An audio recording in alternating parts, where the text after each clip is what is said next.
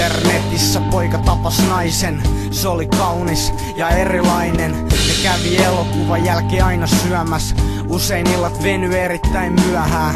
Poika saatto naisen rappu käytävää, käytöstavat oli jotain niin näyttävää. Suhde toimi, kaikki oli selvää, poika oli 25, nainen 34. Ystävät hyväksyi suhteen, kunnes näki naisen kädessä ne ruhjeet. Kaikki alkoi syyttää poika ystävää. Nainen sanoi, että turhaan sitä syyttämään. Nainen sanoi, että kaatus potkulaudalla. Ystävät sano, kohton kynttilät haudalla. Nainen itkee pois pahan olonsa. Antaa rakkauden ryömiä kolosta. Rakkaus kasvaa, sitä ei huomaa. Se tappaa ympäristön eikä suojaa. Poika pyytää anteeksi, nainen antaa. Vittu noin rakkauden sokasemat lampaat. Tekee pahaa, katsoa paperi. Kohta lentää verta jo tapettiin. Rakkaustarinalla traaginen loppu. Voidaan sanoa loppulaudasta potku. Sama tahti jatku monta viikkoa. Nainen sai naamaansa vitu monta viiltoa. Nainen yritti miestänsä auttaa Mut säkki vietiin takaisin kauppaa. Rahoilla ostettiin veitsiä ja kaljaa. Säkin sijasta hakattiin naista nyrkki paljaan Eräänä päivänä nainen jättää miehen. Kirjaimellisesti mies ei purematta niele Mies sakkaa naista. Minkä kerkee Sama aikaan nussii verille sen perseen.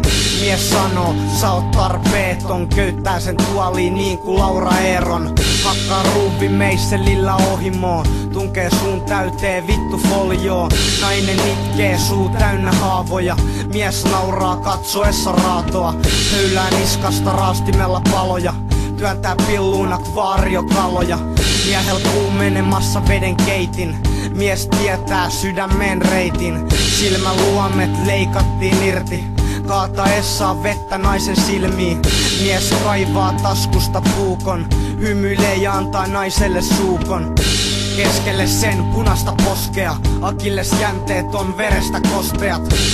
Nainen on kuollut jo varmaa, mies lyö rautalapiolla selkärankaa. Useita kertoja, verisiä verhoja Kuristaja on vaan tarinan kertoja.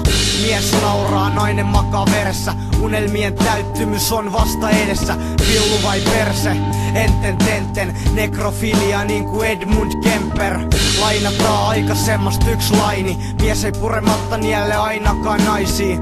Siksi se palasen poskesta purasee. Alaspäin mentäessä haisee jo munalle Mies säästää alaruumin seksiä Kasvoi pureksii niin kuin ne ois keksii Mielee kaiken koko vitun naisen Ylävartalon ja tekee siitä vielä taidet. Salattut elämät, asunto siivotaan. Mies on pitänyt asuntonsa piilossa. Toisessa kaupungissa miestä vastas. Seisoo vaimo sekä kolme lasta.